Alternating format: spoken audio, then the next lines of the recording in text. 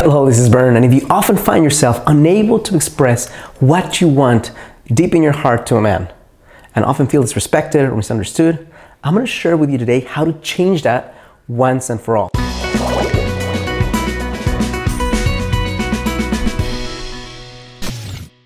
Hello, this is Bern. Welcome to another edition of BernMendez.com, a space where I share with ambitious and conscious women how you can attract the man and the relationship you want.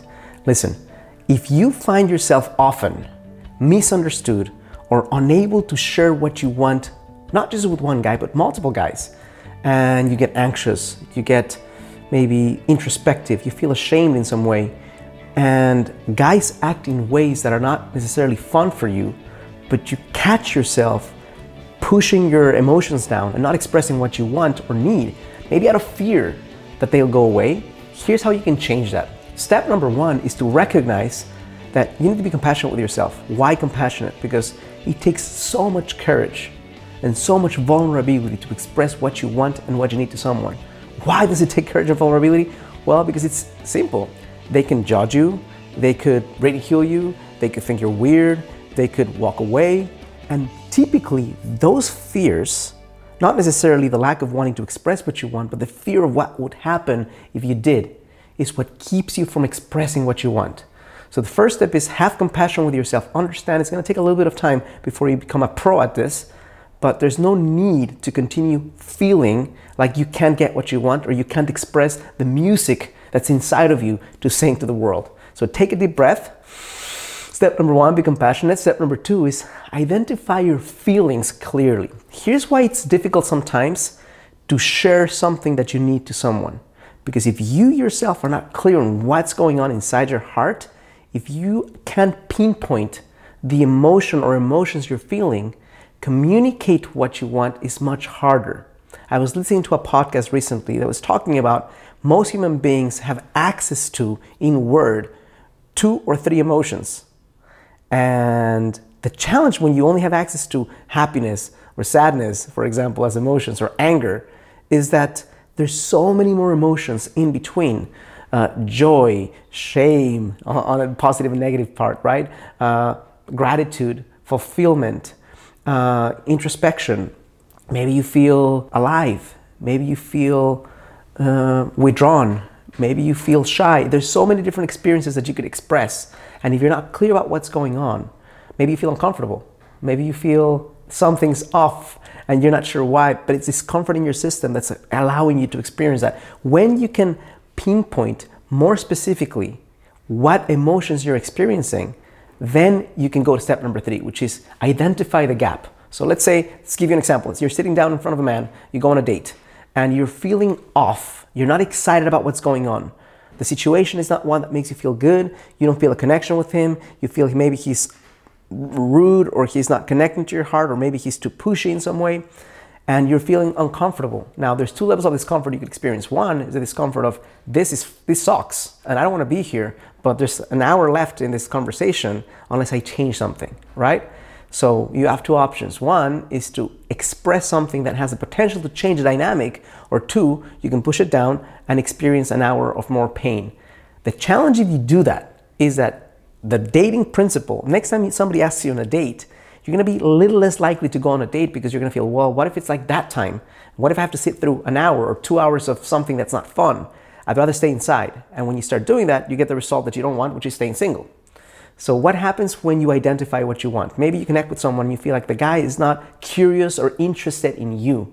You feel like it's one-sided. When you identify the gap, I mean, first, what am I feeling? I'm feeling unseen. I'm feeling unheard. I'm feeling slightly disrespected. The gap. The gap is what do you want? Well, I want to experience feeling seen. I want to experience a sense of connection. I want to experience, maybe a sense of curiosity from him. I want to be able to express myself and ask questions, right? So what's step number four? Once you identify that, step number four is simple, but very, very important, which is stop waiting for comfort. Typically at that moment, you're waiting for an opening, you're waiting for something that makes it feel easier to express. The challenge with that is that it may not come. By definition, being vulnerable and expressing your heart is uncomfortable. So if you understand that you can't wait for comfort, you need to take a deep breath and do the next step, which is five seconds of courage. Eliminate hours of pain. Sometimes five seconds of courage can eliminate years of pain. What does that mean? You're gonna count to five, and then you're gonna share anything imperfectly without uh, being able to say it super comfortably, uh, with your voice shaking, your hands trembling, you're gonna say something. So let's review the example from before. Let's say you're connecting with a guy, you don't feel like he's hearing you, you don't feel like you have a chance to chime in and express yourself to him. You could say something like, hey, uh, can we take a second? Thanks for asking these questions. I feel like I'd love to ask you some questions, but I feel a little bit shy right now. It seems like like the dialogue is going one-sided, and I really want to get a chance to know you. Is it okay if we switch roles a little bit and I ask you some questions? That's uncomfortable. Why? Because the guy could say, you know what? No, you're wrong, and you're weird, and you're uh, closed off to me. He could say that. Now, if he says that, guess what happens? You can say, well, this is not working for me. So you can end it, right? Now, if he says, I'd love to, I'm sorry, I was absorbed let's switch roles. Then you have a chance of getting more of what you want. But it took those five seconds of you being willing to risk more in order to get everything you're looking for. Otherwise, what's going to happen? You're going to end that thing and you're never going to see him again. Why? Because you felt misunderstood, misheard. Now, am I saying that by you expressing what you want, that this guy is going to now flip on the switch and become amazing for you? No, I'm not saying that. What I'm saying is that he now has a chance to understand what's missing and can change it. Okay? Step number five is I'd love for you to understand if this is a recurring theme in your life, if this is something that you've experienced more than once and you can't find necessarily the stride of changing it, there might be something that you feel is missing inside of you that's preventing you from setting that boundary with kindness and love. There might be something that deep down inside of you you feel is something that if the guy were to discover, uh, he'd find the fraud that you are. Not necessarily this is logical, but that's what we do as emotional human beings.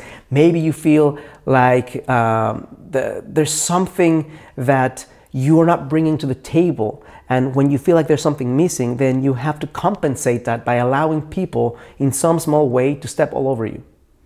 So, what if what if there's nothing missing in you? What if those flaws that you feel are so big are part of the totality that make you an extraordinary human being and that give you a sense of purpose and that give you a deeper sense of understanding and a greater sense of empathy? What if your greatest flaws or the things you feel afraid to shine out into the world are the things that have made you who you are and make you more valuable? What if the guy that you're connecting with has flaws of his own that you haven't discovered. And as long as you put him on a pedestal, you'll never be able to see eye to eye. But the moment you, you know that just like you have baggage, he has baggage, just like you're scared of things, he's scared of things, just like th- there's things that if people were to find out, you'd feel ashamed. Maybe there's many things that he'd feel ashamed for. Then the situation equalizes and you recognize once and for all that even though it's uncomfortable to share, here's what I'm feeling right now and here's what I'd like to change, and that's challenging. It's more challenging to keep that inside and to push it down. So I'm not asking you to do this because it's fun. I'm not asking you to do this because it's easy. I'm not asking you to do this because it's comfortable. I'm asking you to do it because the alternative is an unlived life where you get to keep the things that are precious to you deep down and people don't get to meet your needs. Not necessarily because they don't want to, but because you're not expressing them. Expression and courage are muscles that you develop. You develop them every time you imperfectly, with trembling hands and shaking voices, express something that you want to say. Even if you don't say it perfectly, even if you say it and you say, well, that sucked the way I expressed it, that is far more courageous than keeping within. So, my advice to you is express what you want to say imperfectly and often until it becomes a second part of your nature. Hope this is helpful, useful, insightful. If it is, and you want to learn how to take this deeper and enter the relationship you want, I created a class for you that all you have to do is go to the first link on the description of this video, enter your name and email, and you'll be redirected to take that class right away. If you like this video, click like or thumbs up and subscribe to my channel so you can be notified of new episodes. And last but not least, if you have been struggling with finding your soulmate, if you're not exactly sure how to go about this and you want to eliminate hours of trial and error and cut down years of your learning curve, we might be able to work together. Second link will allow you to apply to work with me. All you have to do is fill out a short form, and if we're fit to work together, we'll connect, we'll speak, and I might be able to hold you by the hand as you go through these treacherous waters and make it easier, more fun, and definitely cut down a lot of time in your process. Thank you so much, and as always, challenge you to live a full and a conscious life.